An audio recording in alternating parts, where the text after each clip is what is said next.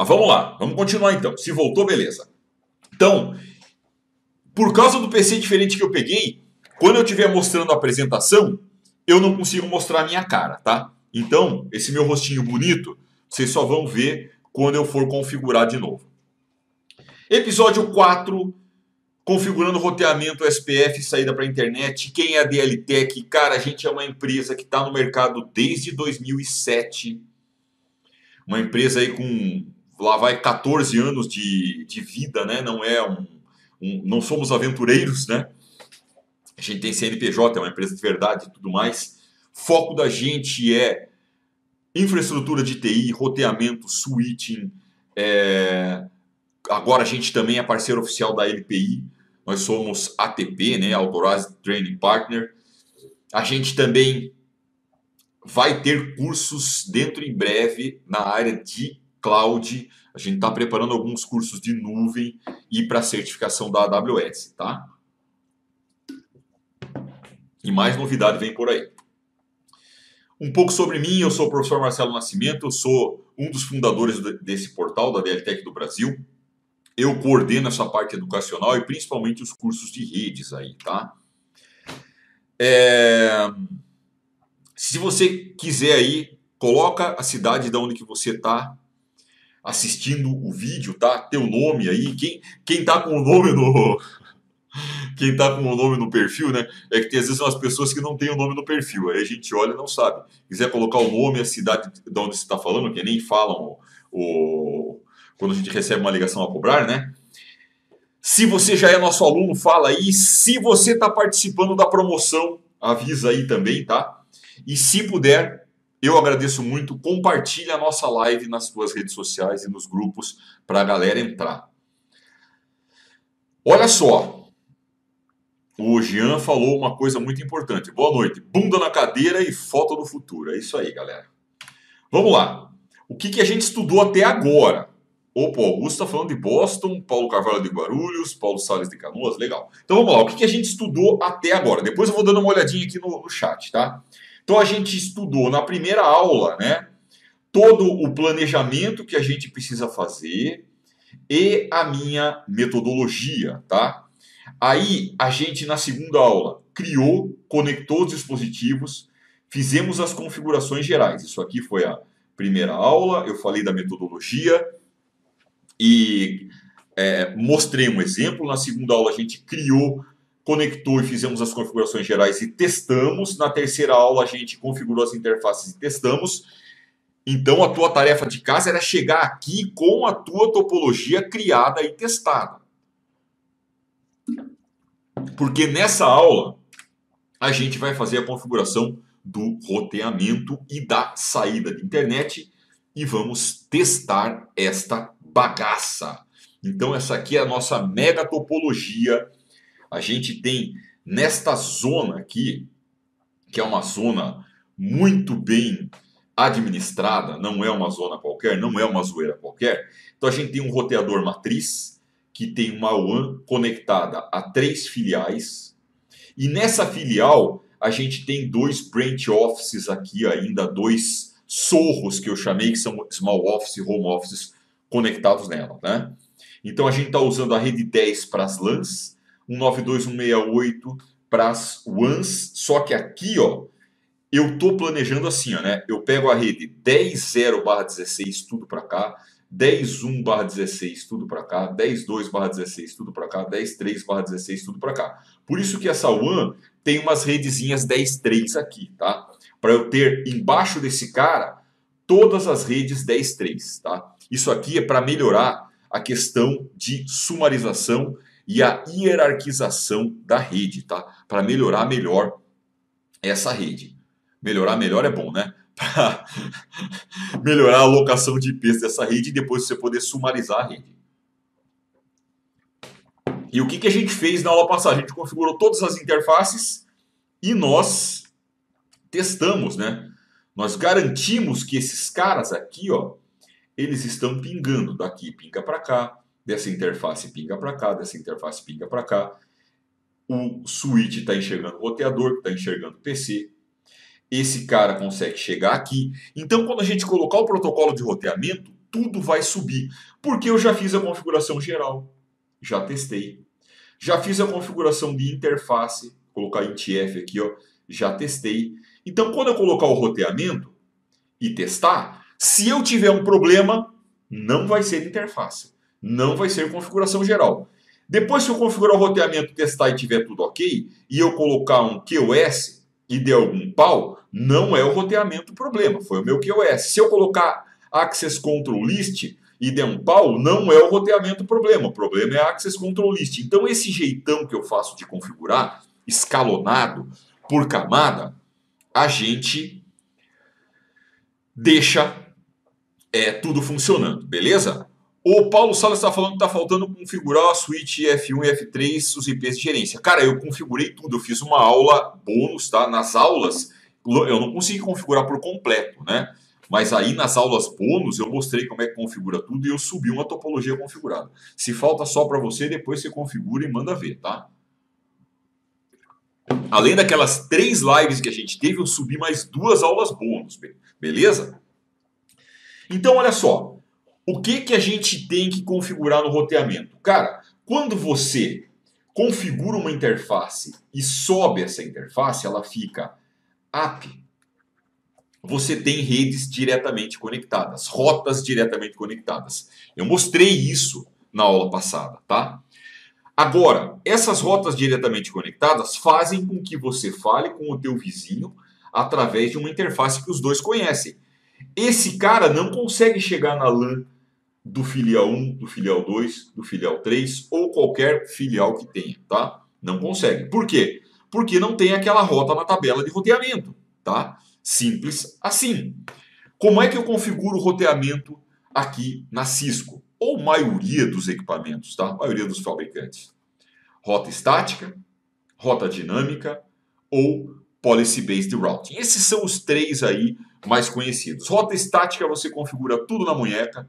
Rota dinâmica, você coloca um protocolo de roteamento dinâmico e a partir das rotas diretamente conectadas que você mandar entrar na tabela de roteamento, as interfaces que você entrar, mandar, no, mandar entrar no processo de roteamento, ele vai criar as rotas para vocês, tá? Eles aprendem as informações de roteamento e enviam vizinho a vizinho. Com isso, os caras montam as tabelas de roteamento dinamicamente, tá? Dinamicamente. O Policy Based Routing, aí você tem que definir como se fosse um programinha o que, que o cara vai fazer, tá? Então você consegue definir com alguns critérios para onde que aquele pacote vai ser encaminhado, beleza? É um negócio mais complicado. Então vamos falar assim, ó. Para quem está começando, né? No CCNA, você vai ver rota diretamente conectada, rota estática, rota dinâmica, com OSPF versão 2, que é para IPv4. Policy Based Routing é coisa para CCNP, tá? Já não é uma coisa mais para CCNA, é uma coisa mais avançada, beleza? Mas não existe só rota estática e dinâmica, saiba que tem o Policy Based Routing também.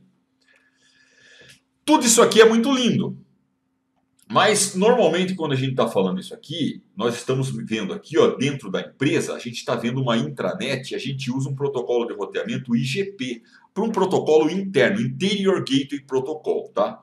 Quando você sai para a internet, aqui no mundo dos provedores, eles falam BGP4. Então, para eu falar com roteamento dinâmico com um provedor, não é muito simples, tá? e não é muito recomendável se a tua empresa for muito pequena. Tá? Então, normalmente, o que, que a gente faz? A gente coloca uma rota padrão, que é um tipo especial de rota estática, tá? nos dispositivos e no DHCP, ou divulga essa rota padrão no protocolo IGP, aqui a gente vai fazer isso, ou o SPF vai ensinar a rota padrão para todo mundo dinamicamente, tá?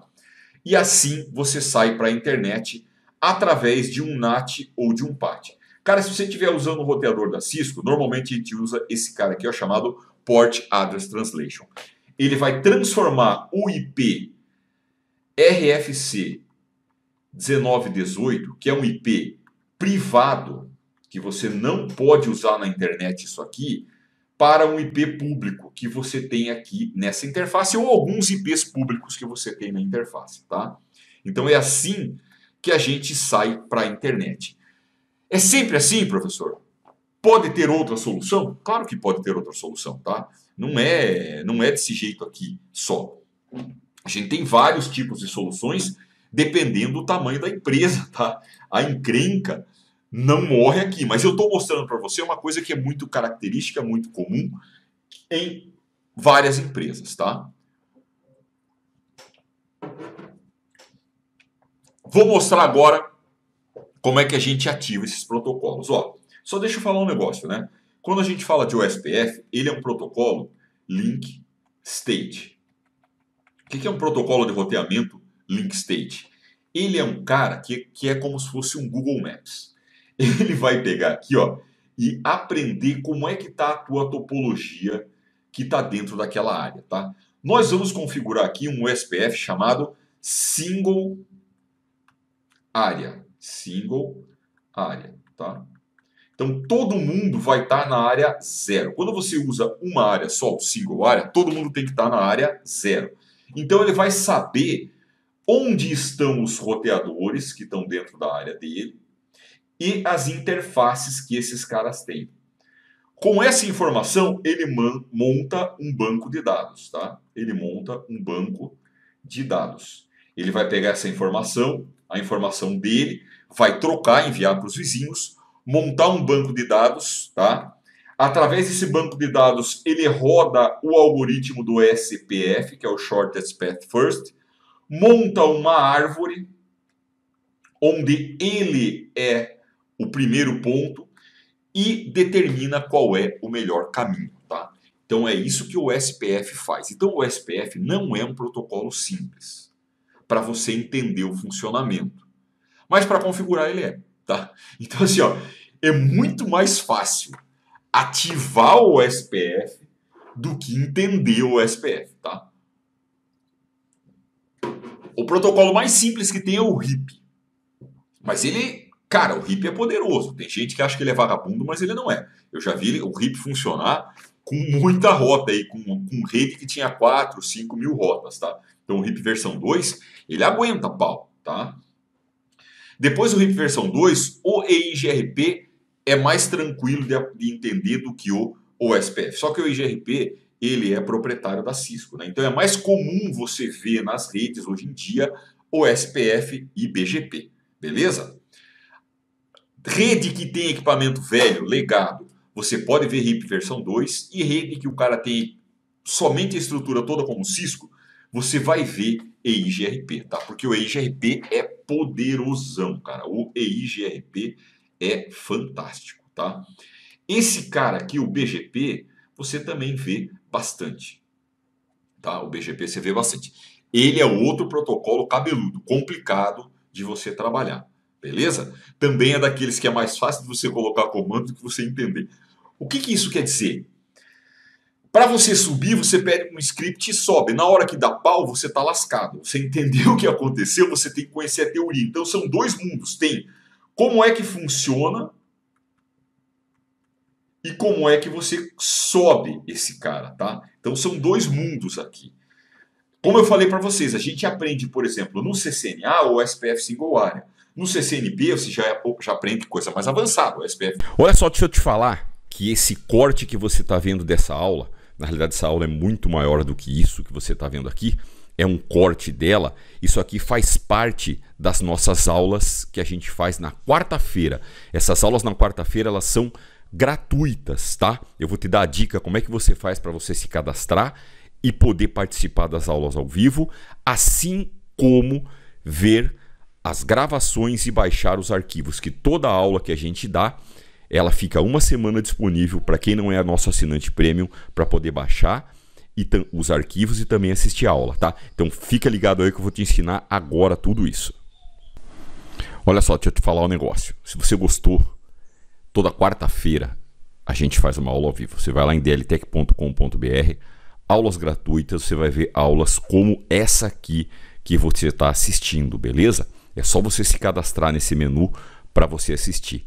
Se você quer ver a gravação da semana, você vai lá em Registre-se Grátis ou entrar e cria um assinante gratuito. Basta você colocar teu nome, teu sobrenome, teu e-mail, definir uma senha e dizer que você não é um robô como sempre que você vai criar a tua conta para você poder acessar a gravação da semana. Então toda a gravação fica disponível por uma semana.